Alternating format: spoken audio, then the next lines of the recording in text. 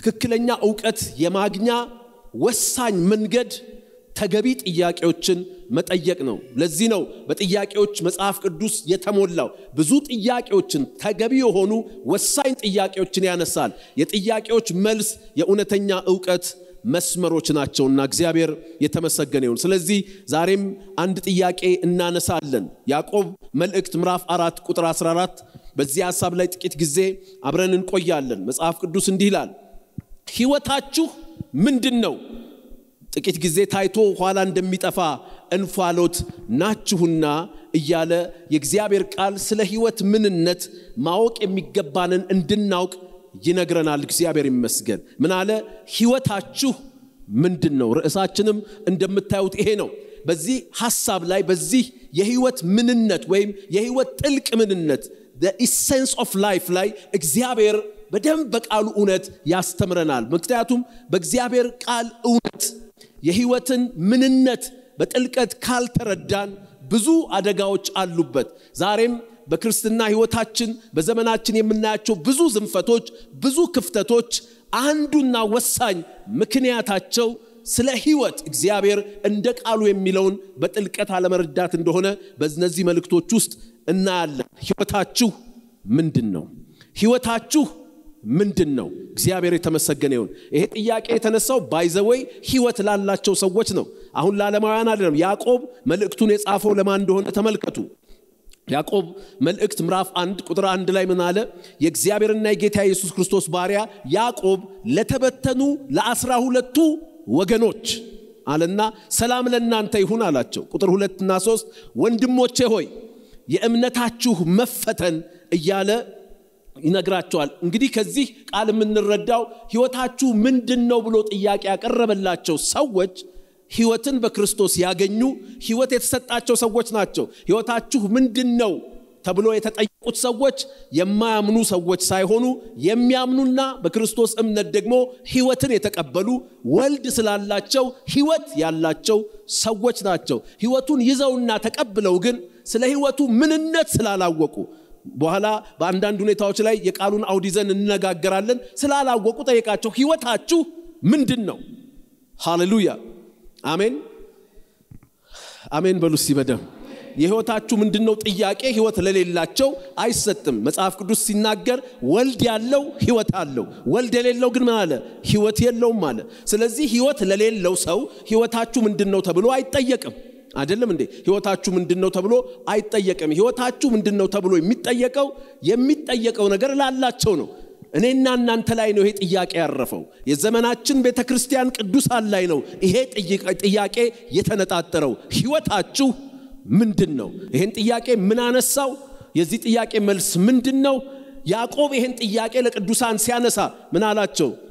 ተመልከቱት ያለውን ነገር ወንድሞቼ ሆይ የእምነታችሁ መፈተን እያለ በእምነታቸው ፈተና ውስጥ የነበሩ በእምነታቸው ብዙ ጫና ይደርስባቸው የነበሩ ኮሚትድ ሆነው የሚኖሩ አይሁዳዊ አማኞች እንደነበሩ የእግዚአብሔር ቃል ይነግረናል። እግዚአብሔር ይመስገን። ስለዚህ ወንድሞቼ የእምነታችሁ መፈተን ሲል እነዚህ ሰዎች የያዕቆብ ወንድሞች እምነት በክርስቶስ የሆነ እምነት ያላቸው ከዚያ እምነት የተነሳ ሕይወት የተሰጣቸው ሰዎች ናቸው። ሃሌሉያ አሜን። ክብር ለኢየሱስ ይሁን። ክብር ለኢየሱስ ይሁን። ስለዚህ እንደ እግዚአብሔር ቃል የህይወት ጥልቅ ምንነት essence of life ምን እንደሆነ እግዚአብሔር ያስተምረን። ምክንያቱም የዚህ እውነት መረዳት ትልቅ ነገር አለው። በአጠቃላይ በአጠቃላይ ምንነቱን እንደሚገባ በትክክል ያላወቅነው ነገር ጥቅሙንም አጠቃቀሙንም አንረዳውም። በትክክል ማለት ነው። ምንነቱን እንደሚገባ በትክክል ያላወቅነው ነገር ህይወትን ጨምሮ ማለት ነው። ምንነቱን በትክክል እንደሚገባ ያላወቅነው ነገር ጥቅሙንም አጠቃቀሙንም አንረዳውም። ስለዚህ እናበላሻለን። የአንድን ነገር ጥቅምም አጠቃቀምም ካልተረዳን ካለማወቅ ስለ ምንነቱ ካል ስለዚህ ማይክ ማቀው ነገር ከሌለ ጥቅሙንም አላውቅም አጠቃቀሙንም አላውቅም። በአንደበቴ በአፌ ጮኋለሁ እዛ ጋር አልተሰማንም ቢሉ ይሄን ይዤ ምንነቱን ካላወቅ ጥቅሙን አላቅም፣ ከጥቅሙ ጎድላለሁ። አንዳንዴ ደግሞ በደንብ ካላወቅኩት ማይክ እንደሆነ አውቃለሁ፣ ድምፅ እንደሚያጎል አውቃለሁ። አጠቃቀሙን እስከ ሀቅ ድረስ በደንብ ካላወቅኩት ደግሞ ገልብጬ ምናምን ሊሆን ይችላል። አይደለም እንዴ? እንዴት እንደምጠቀምበት ካላወቅኩት ማለት ነው። አሁንም በዚህ ህይወት ጉዳይ ላይ ጥቅሙንና አጠቃቀሙን እስከምናቀው ድረስ በእግዚአብሔር እውነት እውቀትን ይዘን አይምሮአችን ታድሶ በህይወት መረዳት ክርስቶስን እንመስላለን ሲጆቻችሁን ከፍ አድርጉና በህይወት መረዳት በሉ እስቲ። በህይወት መረዳት። ክርስቶስን እንመስላለን አንዳንድ ጊዜ ክርስቶስን መምሰል እግዚአብሔርን መምሰል ሲባል ብዙ እንት ውስጣችን ያሉ ግምቶች አሉ ስዕሎች አሉ። የሆነ ከላይ የምንኳኳለው ነገር አይደለም።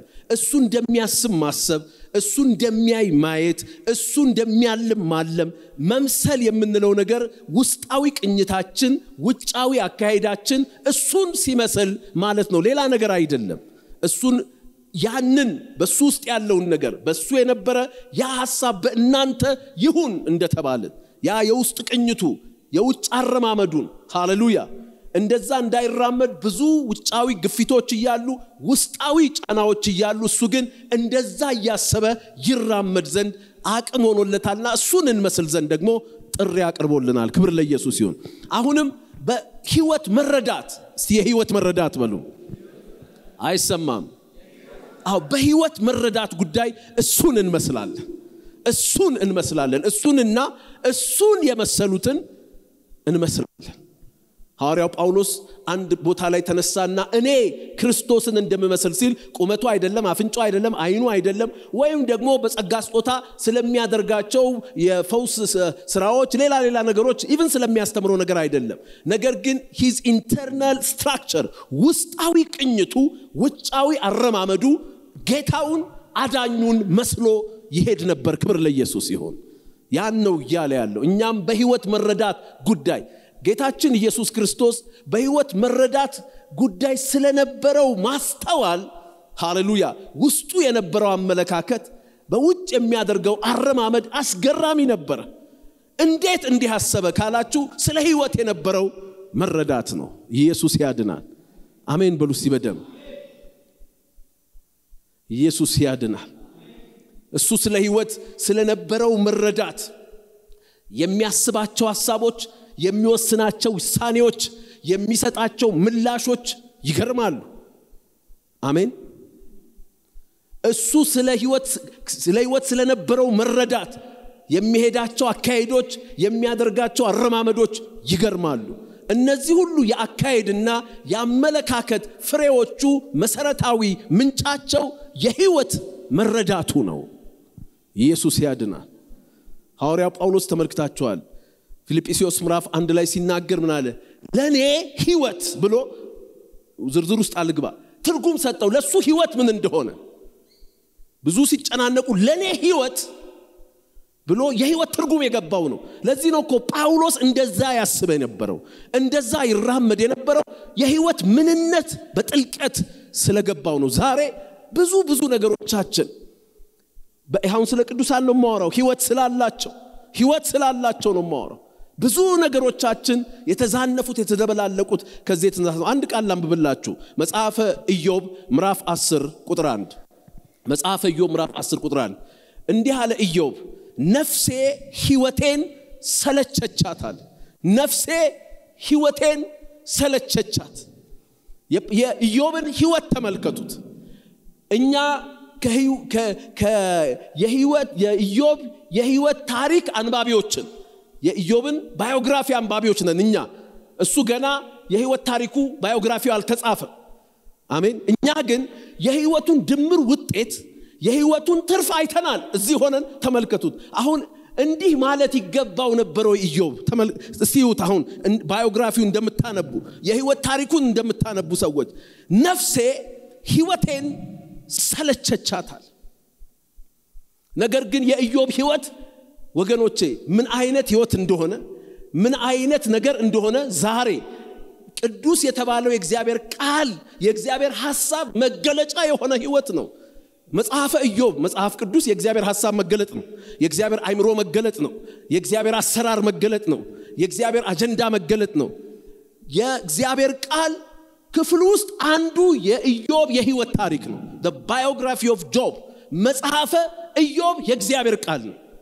የእግዚአብሔር ቃል የሆነ ህይወት የእግዚአብሔርን ሐሳብ የገለጠ ህይወት የእግዚአብሔርን አጀንዳ የገለጠ ህይወት ምን አለ ኢዮብ አንድ ቦታ ላይ በሚያልፍበት ነገር ምን አለ?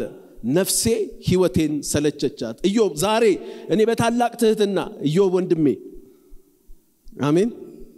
ኢዮብ የሚሰለች እኮ አይደለም ያንተ። ነፍስህ ልክ ነው ካለ ከምታልፍበት ነገር ነገር ግን ብታየው ዛሬ ቆመህ ብታየው መጽሐፈ ኢዮብን ብታነበው ኢዮብ ንገሩት እስቲ አንዴ አብረን እንንገር ብታነበው እኮ የሚሰል አንዳንድ ጊዜ እኮ የህይወትን መጽሐፍ ቅዱሳዊ ምንነት ካለመረዳት የተነሳ እኛም አንዳንዶቻችን ነፍሳችን ህይወታችንን ሰልችተዋለች።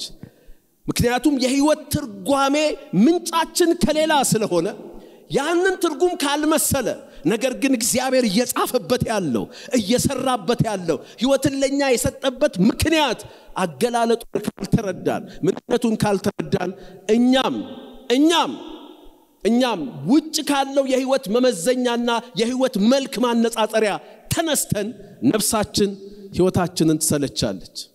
ዛሬ በጌታ እጆቻችሁን ከፍ አድርጉ። ወይም ንገረው ጎን ላለው ሰው ንገርልኝ። ሃሌሉያ። የአንተ ህይወት በለው። ነፍስ የምትሰለቻት አይደለችም በለው። አትስማት ነፍስህን በለው ላካት metamorphosis ጉባኤ ላካት በለው በቃ ትታደስ ትታደስ ስትታደስ የሚሰለች ሳይሆን የሚደነቅ ህይወት ነው። የሚሰለች ሳይሆን የሚገርም ህይወት ነው። የሚሰለች ሳይሆን ሃሌሉያ። የህይወቱን ይዘትም የህይወቱንም ውጤት የህይወቱንም ነገሮች ስንመለከተው ማለት ነው። እዚህ ላይ ኢዮብ ይሄን አለ። ዛሬ ወገኖቼ የብዙ ቅዱሳን አካሄድ ዝንፈት ምሬት አለ እዚህ ላይ ምን አለ? እንጉርጉሮዬን እለቀዋለሁ የሐዘን እንጉርጉሮዬን እለቀዋለሁ። በነፍሴ ምሬት እናገራለኋል ይሄ ምሬት ይሄ አይነት ጭቆና የነፍሳች ህይወታችንን ያልታደሰች ነፍሳችን መዝና ስለ ህይወት ትርጉም ያልገባት ስለ ህይወት ምንነት እንደ ቃሉ ያልገባት ነፍሳችን የህይወታችንን የዛሬ ሁኔታ የህይወታችን የሚያልፍባቸውን ነገሮች ለዚያውም ይሄ ታችኛው ህይወት የሚያልፍበትን ነገር አይታ ነፍሴ ህይወቴን ሰለቸቻት። ታዲያ በነፍስ ሚዛን በነፍስ ማስተያያ የህይወታችንን ውበት ከመዘን በኋላ ነፍስ ህይወት ህይወታችንን ስትሰለቻት ከዛ በኋላ የሚፈጠረውን ነገር የሰለቻችሁን ነገር ምንድነው የምታደረጉት ንገሩኝ አንድ ነገር ከሰለቻችሁ ካስጠላችሁ ምንድን ነው የምታደረጉት ምንድን ነው የምታደረጉት ርቀት ትፈጥራላችሁ። ከሰለቻችሁ ካስጠላችሁ ዋጋ ታሳጡታላችሁ። ለሰለቻችሁ ነገር ዋጋ የላችሁም። ለሰለቻችሁ ነገር ምንም ምንም ቁብ አትሰጡትም። ዛሬ ህይወታችን በእንደዚህ አይነት ነገር እንዲሄድ ምክንያት የሆነው ያልታደሰች ነፍሳችን ከልዩ ልዩ ከዓለም ፍልስፍና ከተለያዩ የሃይማኖት አመለካከቶች የተቀዱ የህይወት ምንነቶችን ሚዛን አድርጋ ስላየች ነው። ዛሬ ግን ሃሌሉያ! እኔና እናንተም በአይምሯችን መታደስ ኢየሱስንና እሱን የመሰሉትን ሐዋርያቱን ሃሌሉያ መስለን እኛም ህይወት ለእኔ እጆቻችሁን ከፍ አድርጉ እስቲ። ህይወት ለእኔ! ህይወት ለእኔ! አሜን! የምንልበት ቁመናና አቋም ላይ እግዚአብሔር ያደርሰናል። ክብር ለኢየሱስ ያደርሰናል። ሃሌሉያ። ኢየሱስ ያድናል። ያዕቆብ ይሄ ርዕስ የተወሰደበትን ቦታ ልውሰዳችሁ። ያዕቆብ ምዕራፍ አራት ቁጥር 14 ላይ ህይወታችሁ ምንድን ነው ብሎ ቅዱሳኑን እነዚህ ወንድሞቼ እምነታቸው በታላቅ ፈተና ውስጥ እያለፈ ላሉ ሰዎች ህይወታችሁ ምንድን ነው ብሎ ጥያቄ ያነሳበትን የቃሉን አውድ ተመልከቱት። እንዲህ አላቸው። እንዲህ ሲሉ ነው የሰማቸው ይመስላል። ይህን ጥያቄ ሲያነሳ እንዲህ ሲሉ ሰምቷል ወይም ተነግሮታል። ምን ይላሉ? አሁንም አሉ ዛሬ ወይም ነገ ወደዚህ ከተማ እንሄዳለን። በዚያም በዚያም አመት እንኖራለን እንነግድማለን እናተርፍማለን የምትሉ እናንተ ተመልከቱ አላቸው ተመልከቱ። ህይወታችሁ ምንድን ነው አሁንም ዛሬ ወይም ነገ ወደዚህ ከተማ እንሄዳለን። በዚያም አመት እንኖራለን እያሉ ያወራሉ። ነገ ዛሬ እዛ እንሄዳለን፣ አንድ ዓመት እንኖራለን፣ እነግዳለን፣ እንኖራለን፣ እነግዳለን፣ እናተርፋለን አላቸውና የህይወታቸው እቅድና የህይወታቸው ስሌት ሁሉ ከዚህ ከዚህ ዓለም ትርፍ መካፈልና በእሷ መደሰት ብቻ ሲሆንበት እንዲህ ብሎ ጠየቃቸው፣ ህይወታችሁ ምንድን ነው? ጥቂት ጊዜ ታይቶ ኋላ እንደሚጠፋ እንፋሎት ናችሁና የህይወታችሁን ምንነት ብታቁት የህይወታችሁን ዋጋ ታውቃላችሁ። የህይወታችሁን ይዘት ከላይ ላሰባችሁት ተራ እቅድ አታውሉትም። ያንን እቅድ መጥላቱ አይደለም። ነገር ግን they all define ህይወትን ያዩበት ህይወቱን የተረጎሙበት እንዴ እነዚህ ሰዎች የህይወት ምንነት ይሄንማ ማንም እኮ ህይወቱም የሌለው ሰው ያስባል።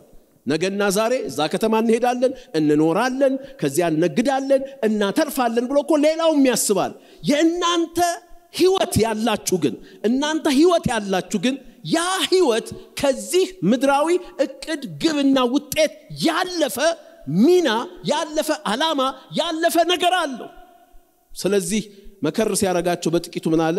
በዚህ ፈንታ እስቲ በዚህ ፈንታ በሉ ጌታ ቢፈቅድ፣ እስቲ ጌታ ቢፈቅድ በሉ ማለት እንደ ጌታ ፈቃድ ማለት ምንድን ነው? በህይወቴ ያለው የእግዚአብሔር ፈቃድ የእናንተ የህይወት እንቅስቃሴ የህይወት ዛሬና ነገ የህይወት ኑሮ የህይወት እንቅስቃሴ ሁሉ በእግዚአብሔር ምክንያቱም የእናንተ ህይወት ስጦታ ውስጥ የእግዚአብሔር ፈቃድ አላል አለ እግዚአብሔር የሚፈቅደው ነገር። ኢየሱስ ያድናል። አሜን ነው? አልገባቸውም። የህይወት ምንነት ስላልገባቸው በእነዚህ ንግግራቸው መካከል ይህን ጥያቄ አነሳ። ዛሬም ወገኖቼ ህይወታችሁ ምንድን ነው ህይወታችሁ ምንድን ነው ህይወታችሁ ከፀሐይ በታች ባለው በዚህ ዓለም መልካም ነገሮች የሆነ ደረጃ የሆነ ቦታ መድረስ ከዚህችም ዓለም ነገር መጠቀምና በሷ መደሰት ነው ህይወታችሁ ምንድን ነው? ሃሌሉያ። እግዚአብሔር ከፀሐይ በታች ባለው በዚህ present world በዚህ የዚህ ዓለም መልካም ነገሮች ጥሩ ነገሮች አትካፈሉ አላለንም ነገር ግን የህይወታችን ማዕከልና ዋና ሚና እሱ አይደለም። ህይወቱ የህይወቱን ምንነት የህይወቱን ማንነት ስናቅ ከዚህ ላለፈ ጉዳይ ህይወታችን እንደሆነ እናውቃለን። እግዚአብሔር የተመሰገነ ይሁን። አሜን። ሃሌሉያ። ያዕቆብ ይህን ጥያቄ ለነዛ ወንድሞቹ ሲጠይቃቸው I think በውስጡ በብሉይ እነዚህ አይሁዳውያን ናቸው። የተጻፉትን አንዳንድ ነገሮች እያሰበም ይመስለኛል። መጽሐፈ መክብብ ምዕራፍ ሁለት ቁጥር ሶስት ጠቢቡ ሰው እንዲህ አለ። ምዕራፍ ሶስት ላይ የሰው ልጆች በህይወታቸው ዘመን ሁሉ ከፀሐይ በታች ሊሰሩት መልካም ነገር ምን እንደሆነ እስካይ ድረስ ሊያገኙት ሊሰሩት መልካም ነገር ምን እንደሆነ እስካይ ድረስ ልቤ በጥበብ እየመራኝ መረመርኳል። ምን የሰው ልጆች በህይወታቸው ዘመን ሁሉ ከፀሐይ በታች ሊሰሩት መልካም ነገር ምን እንደሆነ እስካይ ድረስ። ሃሌሉያ! ያዕቆብ ወንድሞች ያላቸው ሰዎች በእቅድ የያዙትን ነገር አይቶ ኖሮ የተረከው ሰው ይሄ እንዳልሆነ ህይወት ሲመሰክር እንዲህ አለ። መረመርኩ አለ። ከዚያስ ቁጥር አራት ትልቅ ስራን ሰራሁ አለ። ቤቶችን አደረግኩ ወይንም ተከልኩ አትክልትና ገነትን አደረግኩ ልዩ ልዩ ፍሬ ያለባቸውን ዛፎች ተከልኩባቸው ወንዶችና ሴቶች ባሪያዎችን ገዛው የቤት ውልድ ባሪያዎችም ነበሩኝ። ከእኔ አስቀድመው በኢየሩሳሌም ከነበሩት ሁሉ ይልቅ ብዙ ከብቶችና መንጎች ነበሩኝ።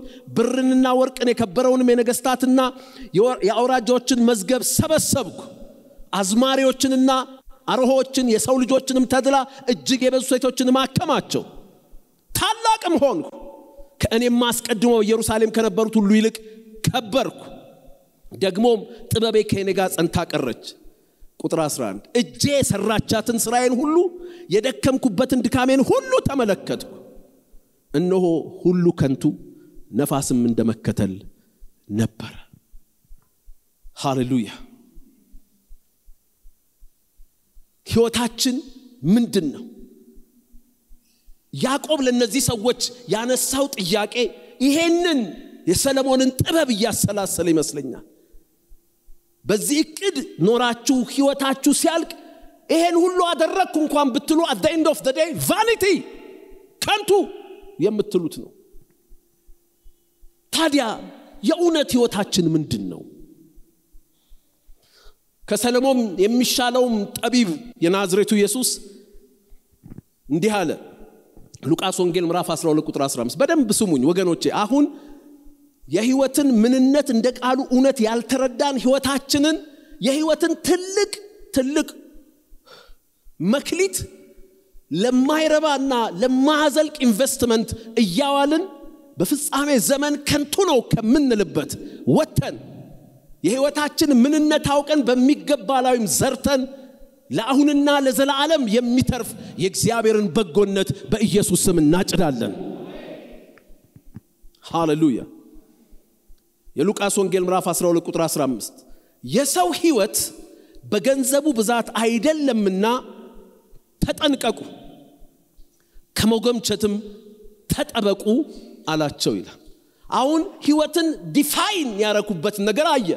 በቃ ህይወት እኮ ማለት ያ የምትፈልግ አሁን ገንዘብ ሲል ጥሬ ገንዘብ ብቻ ማለት አይደለም።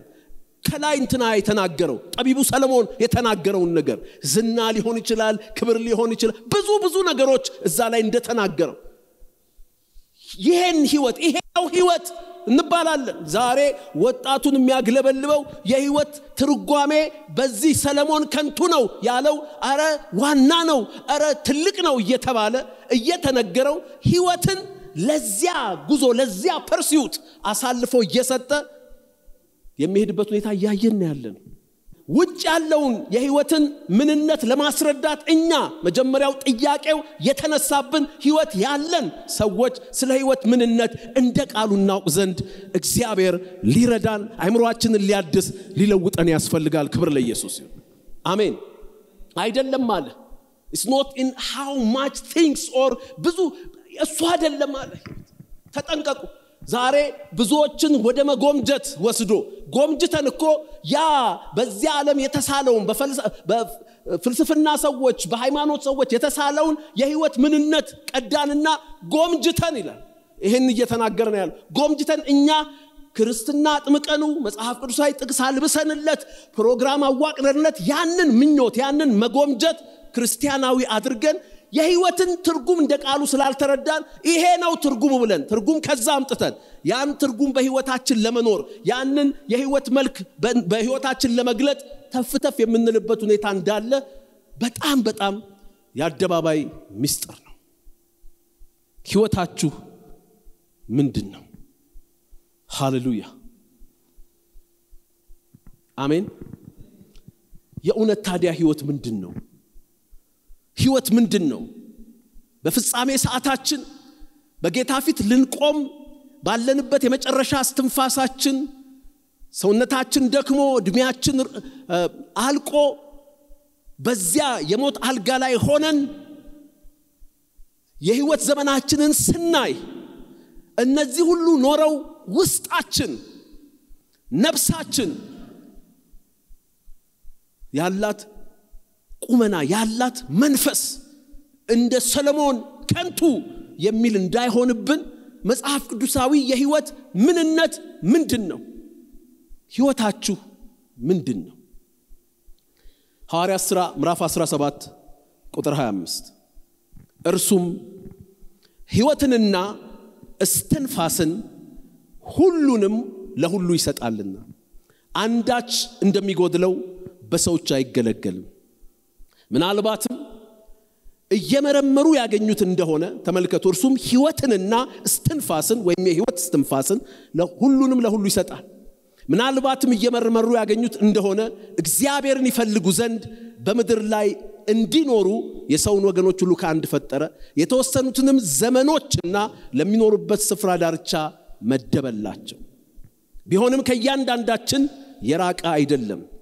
ከእናንተ ከእናንተ ከባለቀኔዎች አንዳንዶች ደግሞ እኛ ደግሞ ነንና ብለው እንደተናገሩ በእርሱ ሕያዋን ነንና እንንቀሳቀሳለን፣ እንኖራለን። ተመልከቱ እዚህ ላይ ስለ መጽሐፍ ቅዱሳዊ የህይወት ምንነት ሁለት ቁልፍ ሐሳቦችን ያስቀምጥልናል።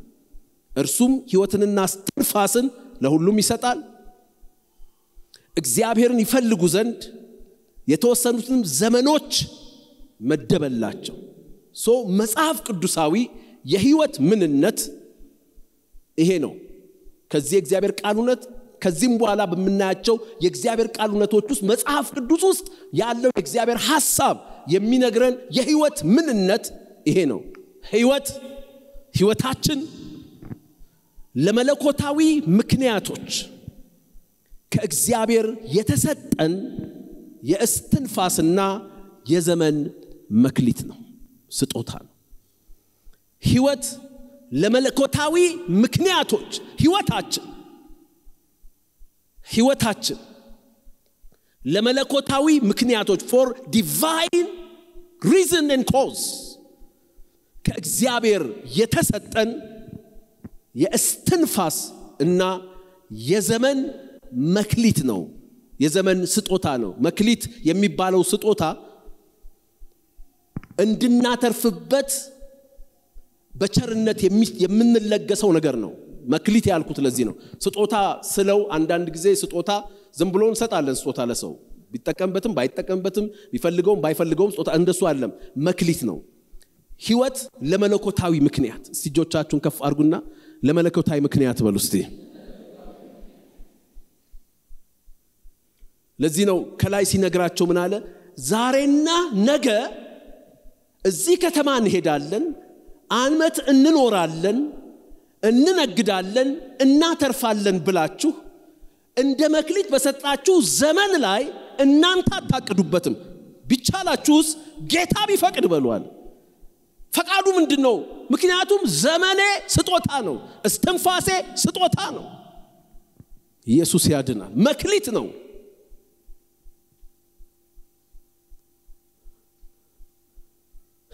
ኢየሱስ ያድናል።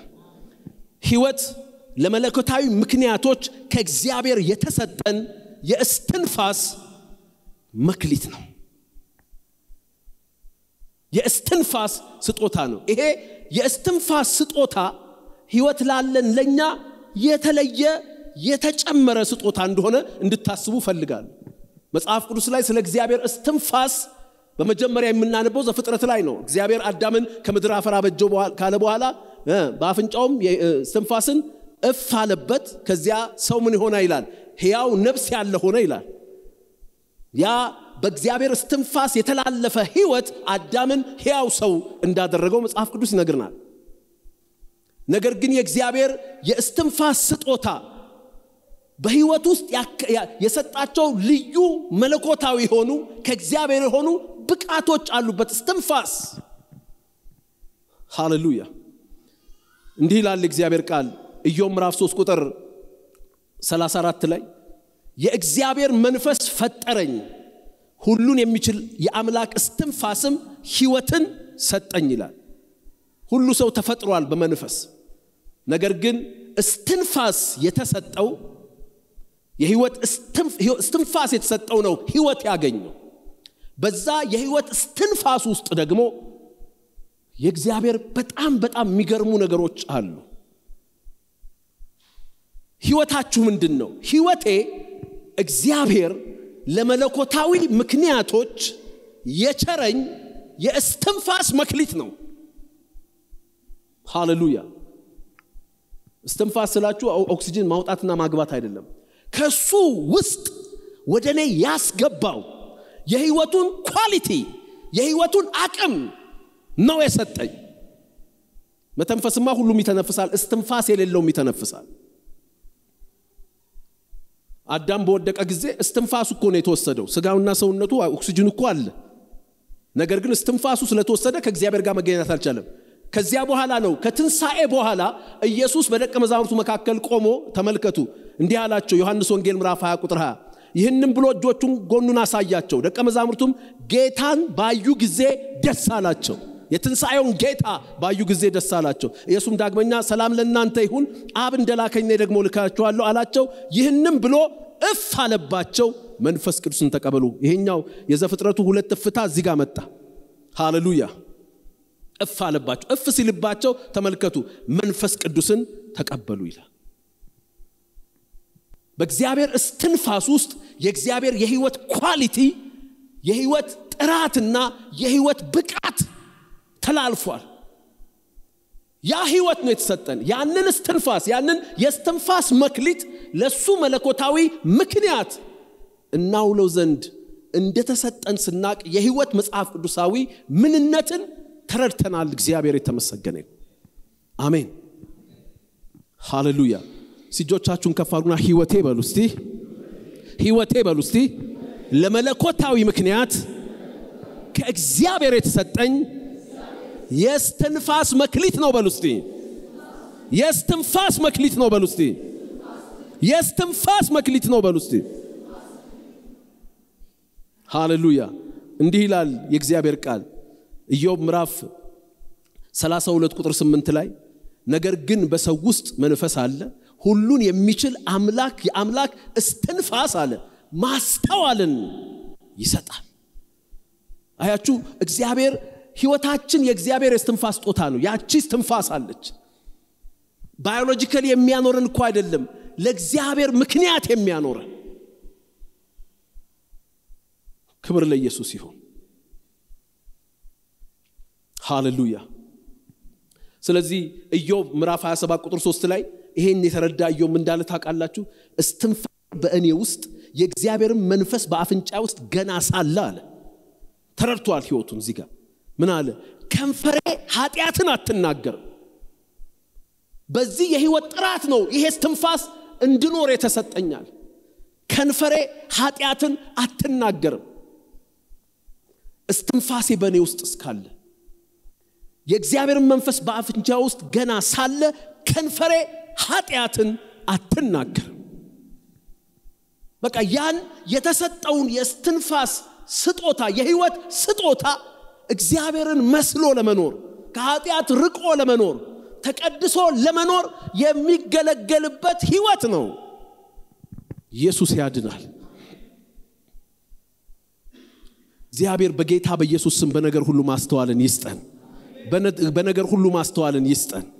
በነገር ሁሉ ማስተዋልን ይስጠን። እግዚአብሔር ህይወታችን ምንድን ነው በመለኮታዊ ማስተዋል ክርስቶስን በመምሰል እንድኖርበት የተሰጠኝ የእስትንፋስ መክሊት ነው ስጦታ ነው ህይወቴ እግዚአብሔርን ለመምሰል ልጁን ለመምሰል ክርስቶስን ለመምሰል በማስተዋል በሰማይ ማስተዋል ለመኖር እግዚአብሔርን አክብሮና አስከብሮ ለመኖር የተሰጠኝ የእስትንፋስ መክሊት ነው። በቃ ህይወትህ ምንድን ነው እግዚአብሔርን መምሰል መስሎ ለመኖር የተሰጠኝ የእስትንፋስ ስጦታ ነው። ይሄ ነው ህይወቴ። ሃሌሉያ! እስቲ አሜን በሉ በደም። የፈለግከውን ነገር ብታደርግ እነሱ እንዳቀዱት ማለት ነው መጽሐፍ ቅዱስ በሚለው የህይወት ትርጓሜ መሰረት ህይወትን እየገለጥከው አይደለም። ህይወትህ ከእግዚአብሔር የተቀበልከው ለመለኮታዊ ምክንያት እሱ አንዱ የመለኮታዊ ምክንያቱ እሱም መስሎ መኖር ነው። ልጁም መስሎ መኖር ነው። ከኃጢአት መራቅ ነው። እግዚአብሔርን መግለጥ ነው። ማክበር ነው። ክብር ለኢየሱስ ይሁን። ህይወታችን እግዚአብሔርን ለመምሰል የተሰጠን የሰማይ ኢንቨስትመንት ነው። This is the agenda of God በህይወታችን ኧረ አሜን በሉ እስቲ በደም። እኮ ለዚህ ነው ያለው። ምን አለ? ተመልከቱ። ነገር ግን ሃሌሉያ። እስትንፋሴ በእኔ ውስጥ የእግዚአብሔርን መንፈስ በአፍንጫዬ ውስጥ ገና ሳለ አለ። ከንፈሬ ኃጢአትን አትናገርም፣ አንደበቴም ሽንገላን አያወጣም። ይሄ የተሰጠኝ እስትንፋስ ሕይወቴ ዋና ዓላማው እሱን መስሎ እሱን አስከብሮ እሱን ገልጦ በቅድስና ውበት መኖር ነው። Life is an investment in the exercise of godliness ሕይወት እግዚአብሔርን በመምሰል ልኖርበት የተሰጠን የሰማይ የእስትንፋስ መክሊት ነው። This is the center of life። ኢየሱስ ያድናል። እጆቻችሁን ከፍ አድርጉ። እንዲህ አርገን ሕይወትን ስንረዳ፣ እንዲህ አርገን ሕይወትን ስናስተውል እግዚአብሔርን በመምሰል ውስጥ ያሉት የዚህ ዓለምና የሚመጣው ዓለም በጎ ትርፎች ወደ ሕይወታችን አለ ግርግር አለ ተወሳሰበ ነገር መዝነብና መምጣት ይጀምራሉ። በቃ This is life ይሄ ነው። አሜን። ሰዎች እኮ ታውቃላችሁ፣ ጳውሎስ ተናቅ ምንድን ነው የምታጨናንቁኝ አለ። ህይወት ምናምን አደገ። እኔ እኮ አለ መኖር ለእኔ ህይወት ክርስቶስ ነው አለ። Period አለቀ። ሞትም ደግሞ ጥቅሜ ነው። It's matter as long as እያንዳንዷ የህይወቴ እርምጃ በተሰጠኝ የስትንፋስ መክሊት የእሱን ውበት መግለጥ ከሆነ I lived life ህይወትን ኖሬዋለሁ። ረ የሰው ሰውነት እየጠፋ ነው ሲሉት የውጭ ሰውነቴ ቢጠፋ የውስጥ ሰውነቴ ዕለት ዕለት ይታደሳል አለ።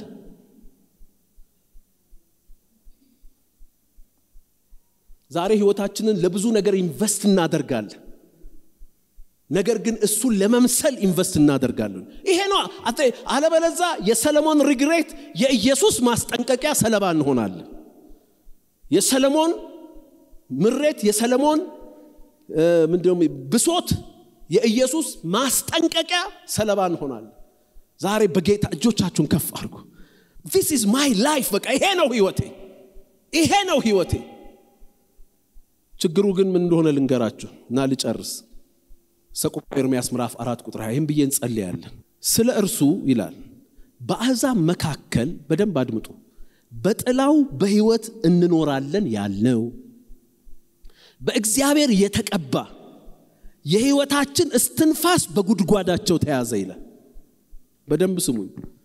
ስለ እርሱ በአሕዛብ መካከል በጥላው በሕይወት እንኖራለን ያልነው በእግዚአብሔር የተቀባ የህይወታችን እስትንፋስ በጉድጓዳቸው ተያዘ ይላል። ተጠመድን። ያ እስትንፋስ በእነሱ የዚህ ዓለም ፍልስፍና፣ የዚህ ዓለም የሃይማኖት ትርክት ወጥመድ ተያዘ። የህይወትን እስትንፋስ የተሰጠን እርሱን መስሎ ለመኖር ኢዮብ እንዳለ፣ ኢየሱስ እንዳለ፣ ጳውሎስ እንዳለ ሃሌሉያ። ዛሬ ይሄ በወጥመድ የተያዘ የህይወት እስትንፋስ በኢየሱስ ስም ይፈታል። ይሄ ትምህርት ያነጣጠረው ይሄ በሁለት ወገን የተሳለ ሰይፍ ትምህርት ያነጣጠረው ከዚህም በኋላ በእግዚአብሔር ሐሳብ የምንቀጥለው ይሄ ሐሳብ ይሄንን ወጥመድ ሰብሮ የእውነት በተሰጣቸው የእስትንፋስ መክሊት የእግዚአብሔርን ህይወት የኢየሱስን ህይወት እየገለጡ የሚኖሩ ሰዎችን በምድር ላይ ያበዛል በጌታ በኢየሱስ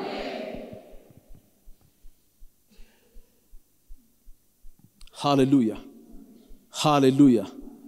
እግዚአብሔር የተመሰገነ ህይወት እሱን ለመምሰል ከእግዚአብሔር የተሰጠን የእስትንፋስ መክሊት ነው። የእሱን ዓላማ ለመፈጸም ከእግዚአብሔር የተሰጠን የዘመን መክሊት ነው። አሜን። የዘመን መክሊት ነው። ሃሌሉያ።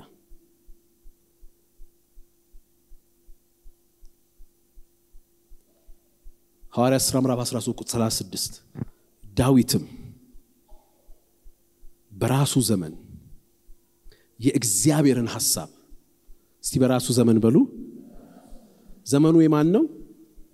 ያገለገለው የማን ሐሳብ ነው? ምን ስለሆነ ይመስላችኋል ይህን ያደረገው? ዘመኑ የኔ ቢሆንም ዘመኑ የእኔ ቢሆንም ግን ስጦታ ነው፣ መክሊት ነው። የእሱን ሀሳብ እንዳገለግልበት የተሰጠኝ ነው። ሃሌሉያ። ዛሬ ዘመኔ ነው ባልኑ ዘመናችን የእሱን ሀሳብ ነው። ለዚህ ነው ጌታ ቢፈቅድ በለዋል። የሚፈቅደው እኮ ነገር አለ። እዛ ከተማ የምትሄዱት ልትነግዱ ላይሆን ይችላል እኮ ልታጠምዱ ሊሆን ይችላል። እዛ የምትሄዱት እኮ ቤተ ክርስቲያን ልተክሉ ይሆናል። እዛ የምትሄዱት የጠላትን መንግስት ልትሰብሩ ይሆናል። You don't decide on gift of season that God has given you። ዛሬ ይሄ ስሌት ስለተዛባብን የእግዚአብሔር ሀሳብ እዚህ እኛ በዘመናችን የራሳችንን ሀሳብ እያደረግን ርቀናል። እግዚአብሔር ወደ እሱ ሀሳብ ሲያመጣ ዳዊት የእግዚአብሔርን ሀሳብ አገልግሎ እስቲ ንገሩኝ የጎደለበትን እስቲ ንገሩኝ የጎደለበትን ምንድን ነው የጎደለበት? ዳዊትም እየተሳቀቀ እየተሸማቀቀና እየተጸጸተ አንቀላፋ ነው የተባለው። ዳዊትም እድሜ ጠግቦ ሞተ። እግዚአብሔርም በእንደዚህ በእንደዚህ በእንደዚህ እጅግ ባለጠጋ አደረገው። አደለም ወይ የተባለው ሐሳቡን ያገለገለ በዚህም በዚያኛውም ዓለም የሚያተርፍ ሐሳቡን ስላገለገለ ለልጁ ለኢየሱስ ክርስቶስ እንኳን እግዚአብሔር ፕሮሚስ ያደረገው ዙፋን የዳዊትን ዙፋን ነው።